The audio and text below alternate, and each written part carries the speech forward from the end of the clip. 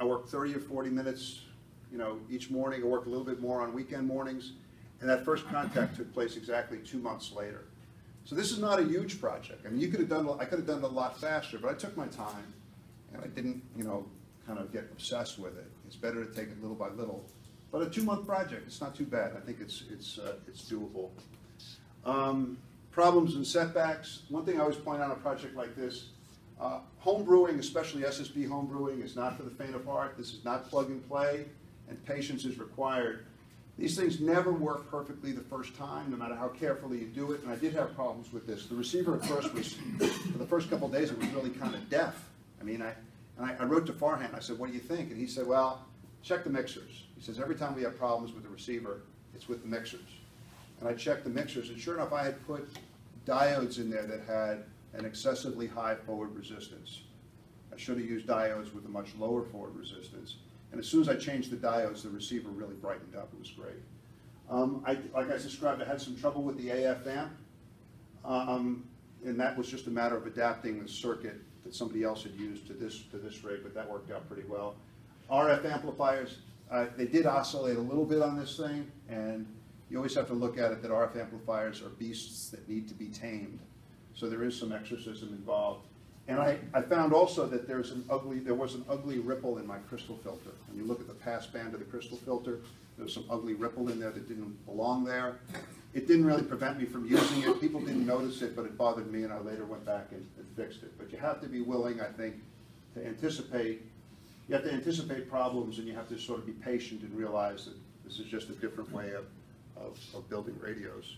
What- Yeah. What was the problem with the crystal filter? Well, with the crystal filter, you know, it's everything, each crystal filter is different because the, the physical parameters of the crystals are different.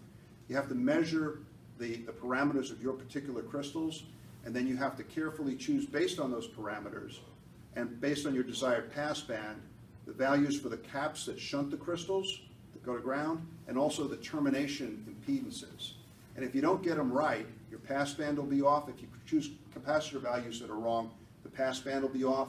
And if you choose termination impedances wrong, you'll get ripple. So there's a variety of software packages available that will allow you to take a look at the particular crystals that you're running and tweak the, the, the passband with the capacitors and play with the termination impedances to smooth it out. And once I did that, it worked fine. But this is part of the learning experience. I'd never done that before, so I learned a lot from this rig. Um, there's a lot of help available. There's the BitX 20 EMF and EMRFD Yahoo groups. There's about 2,000 of these rigs been being built or have been built around the world, so there's a lot of people that you could contact by email to help you. There's mailing lists like QRPL, and a lot of guys have taken their work on these rigs or particular phases of the operation, produced YouTube videos and put them up. So you can, you can go to those videos, and it's a very helpful way to get past problems. Um, the rewards, obviously, a lot of satisfaction. I gotta tell you, when you talk to hams with this thing, they are amazed when you tell them that you're running a homebrew rig. I think there's a lot more, there are many more homebrew rigs in CW, there aren't that many in phone. So when you get on phone and you tell people you're running a homebrew SSB transceiver, I mean, a lot of times, the guys, they, I have to tell you, they can't process it. They don't, they don't know what you, yeah, but, but what kind of rig is it? Well, it's a homebrew rig. Yeah, but what brand? Well, it's called a BitX. It's from this guy in India, and I tell them the whole story. And they really find it very, uh, I think, uplifting. They're amazed. Some of the newer hams are amazed that this can still be done. So it's been a good experience. I worked with yesterday morning on Art, and uh, he said it great. Oh. Unbelievable. Oh, great. It's great. I feel my. Oh, terrific. Great. Um, And you become part of the old ham tradition. Shep and Dilbert would be really proud. Um, You learn a lot. You get to work the world with your own creation. And I always say, it's, it's sort of like that book by Tracy Kidder, Soul in the New Machine.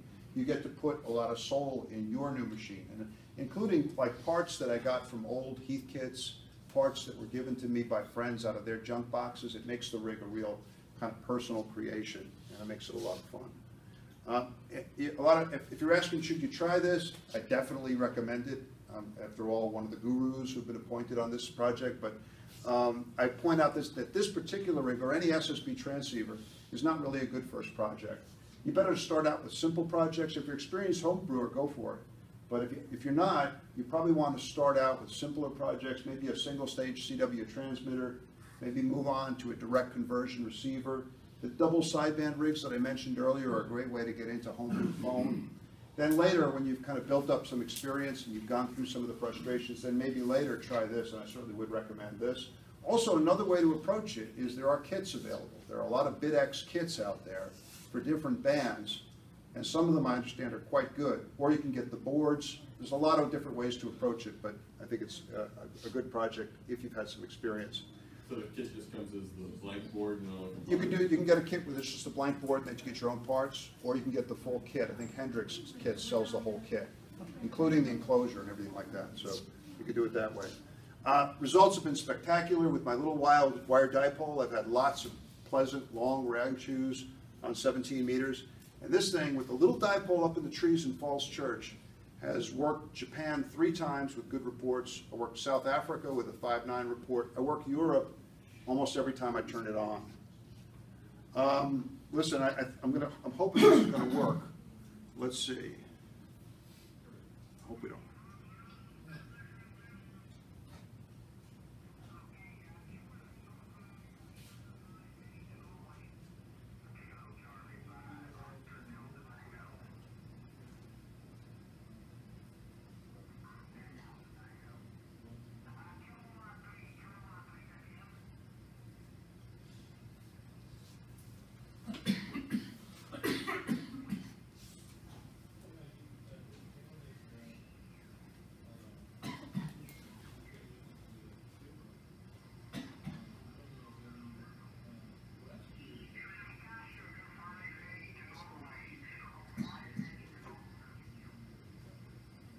Right, now I want to switch to the other crystal.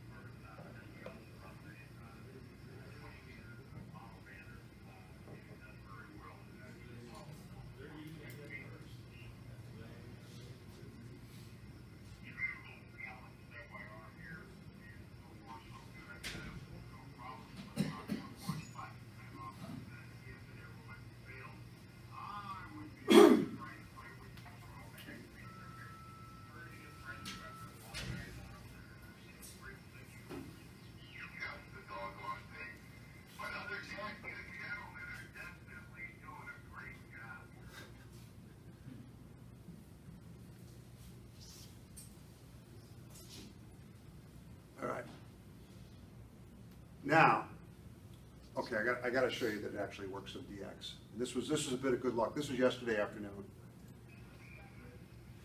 November two, Charlie Quebec Radio. That's November two, Charlie Quebec Radio, N two CQR.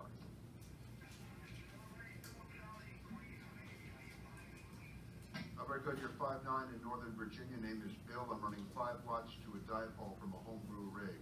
This is November two, Charlie Quebec Radio.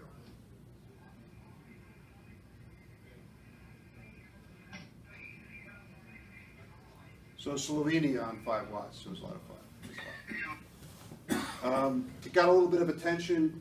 I know the guys who run the Hackaday, Hackaday website, so I sent it to them and they ran a little piece about, uh, about the rig and about how Farhan designed it. And this was an effort to reach out to kind of the other part of the electronic hobbyist community, folks who are more interested in Hackaday and computers.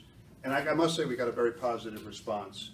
Um, A follow-on project, I built a second one of these. It's a BITX 2040, it's a dual bander, obviously for 20 and 40 meters. On this one, I wanted to build a VFO and not a VXO, and I was really pleased that I was able to get it very stable. It worked out very well. You can see here, I put the copper, copper flashing in there to see if it would get kind of better shielding. Frankly, I didn't notice much of a difference, but it looks nice. Um, And I used, again, Heathkit parts. Here's Farhan's new design. For those of you who are a little bit more oriented towards newer technology, Farhan has designed a new rig. It's called the Minima. And basically, think of it as BITX meets Arduino and SI570.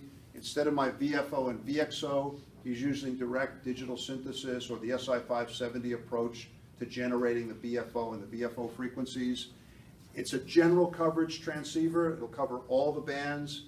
His goal was to make it buildable for less than hundred dollars. And I must say, it's sort of against my principles, but I'm really tempted and I may build one of these things, just because it looks so cool. If you want more information on the BITX and the Minima, I mean, just Google Farhan BITX or Farhan Minima, and it'll bring you to the world of websites. There's a very active Yahoo group. There's a Minima group at minima@freelist.org or minimahfsignals.org. And again, just Google those, those, just Minima Farhan BITX, and you'll, you'll, it'll take you to that whole part of the internet.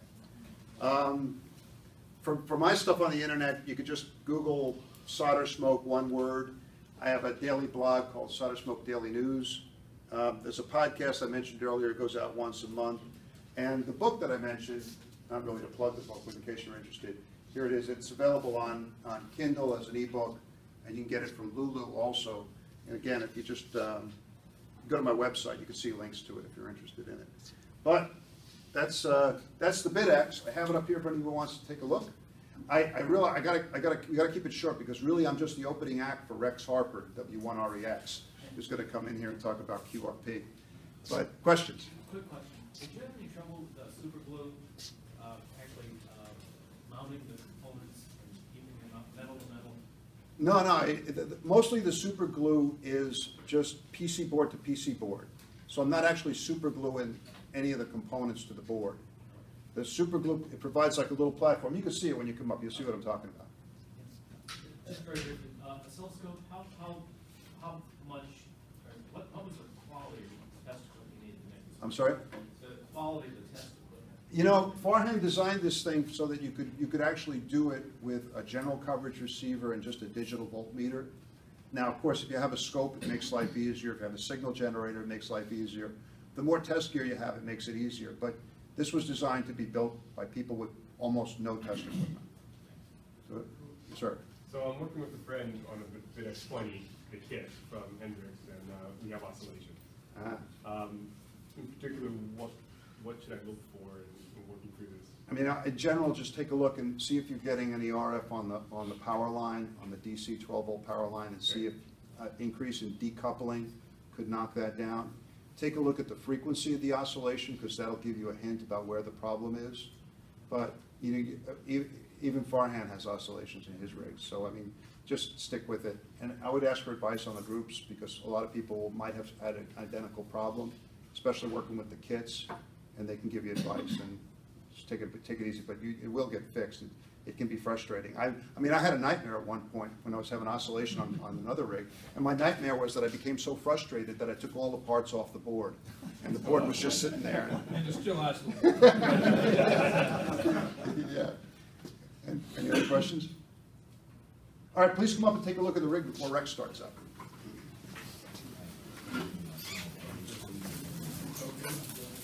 So what was your